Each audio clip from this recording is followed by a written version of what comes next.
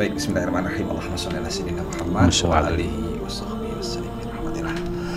Bagaimana cara kita tahu dia ahli so apa pilihan Allah? Nanti tahunya biasanya ujungnya tuh. Kalau sekarang kita nggak akan tahu. ya, jadi kalau kita tahu enak tuh ada tanda-tandanya. Tapi minimal ini yang harus ada di benak, di hati, di semua para pejuang-pejuang sholawat. Husnuzonnya harus tinggi itu dulu yang paling penting. Ya.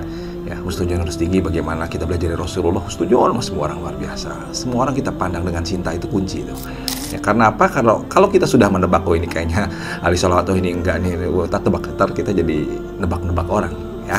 Jadi saran kami lihat semua dengan cinta dan lakukan dengan maksimal maksimal ikhtiarnya, maksimal ngajaknya, dan maksimal doanya itu yang kadang-kadang kita nggak lupa tuh ya maksimal doanya jangan seolah-olah kayak kita hebat ini tentang sholawat. Sudah udah hafal hatam tentang sholawat.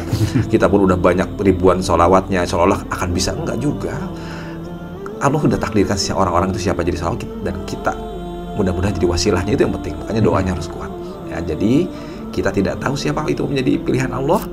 Yang tahu ya Allah kita hanya diperkenankan untuk berjuang berjuang dan berjuang tapi insya Allah ini berita baiknya.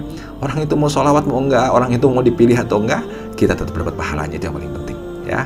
Dan kalau kami yang buat jadi motivasi kenapa begitu semangat ngajak orang satu hal sebenarnya pengen lihat Rasulullah itu aja sebenarnya kuncinya Ya. ya. Bayangkan coba Rasulullah ngelihat yang ahli sholawat saja sudah seneng bangga banget ya tuh orang bersolawat dan Rasulullah menjawab salam kita kan sambil menyebutkan nama ayah kita. Apalagi Rasulullah melihat kita berjuang apa, memperhatikan umatnya. Kita betul-betul kerja keras menjadikan asbab umat itu menjadi bersolawat. Bagaimana coba tatapan Rasulullah kepada orang-orang itu? Ya jadi mau dia nggak ma- mau atau nggak mau nggak nggak masalah. Yang penting Rasulullah melihat perjuangan kita. Rasulullah melihat bagaimana kita cintanya sayangnya kepada umatnya. Ya, dan ini luar biasa sahabat pasti. Kalau kita sudah bisa menghadirkan rasa itu pasti perjuangannya nggak main-main. Pasti maksimal. Maksimal pasti. Karena dilihatnya Rasulullah ngeliatin kita ya dan mudah-mudahan ini menjadi wasilah kita istiqomah semua insya Allah. Ya istiqomah. Amin. ngajaknya istiqomah berjuangnya keluarga dulu nih utama nih keluarganya amanin keluarga lingkungan baru Kemsalawat sudah memberikan perasa, apa eh, prasarana untuk ngajak siapa pun dengan mudah. Tinggal share link-link training kita.